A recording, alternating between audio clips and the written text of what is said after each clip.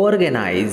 बहुत बार बहुत सारी जगह पर सुन लेते हैं, वो बहुत ऑर्गेनाइज है, या उसकी वेबसाइट बहुत ऑर्गेनाइज है, या फिर यहाँ पर न्यूज़ बहुत ऑर्गेनाइज्ड तरीके से मिलती है, या किसी भी वीडियो, फ़िल्म, नाटक, गाँव, घर, कहीं पर भी सुन लेते हैं, ऑर्गेनाइज। और फिर सोचते हैं, यार, इसका मतलब क्या हुआ? कोई प्रोग्राम भी ऑर्गेनाइज हो सकता है, कोई पार्टी वगैरह।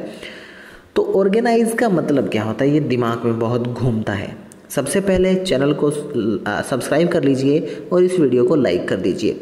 ऑर्गेनाइज का बहुत बड़ा कोई मतलब नहीं होता है। ऑर्गेनाइज का मतलब होता है किसी प्रोग्राम को ऑर्गेनाइज करना, यानी आयोजित करना, या सुयोजित करना, अच्छे तरीके से, सुनियोजित तरीके से करना, व्यवस्थित करना, या संगठित करना, ठीक तरीके से जचाना, बना देना। जैसे मकान को या कमरे को अच्छे से सजाया होता है ना ऑर्गेनाइज किया होता है, यानी सामान को सही सेट किया होता है, वो होता है ऑर्गेनाइज जानकारी अच्छी लगी लाइक करना वीडियो को शेयर करना और चैनल को सब्सक्राइब करके घंटे दबा लेना ताकि ऐसी वीडियोस और मिलती रहे।